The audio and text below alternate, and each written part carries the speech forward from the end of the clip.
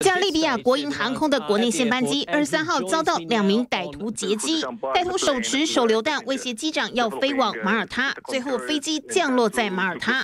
成为劫机犯要求释放被关在监狱里的格达费的儿子。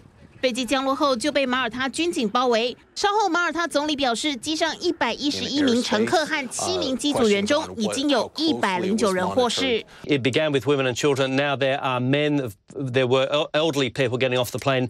Now, obviously, as you can see, able-bodied people getting off the plane.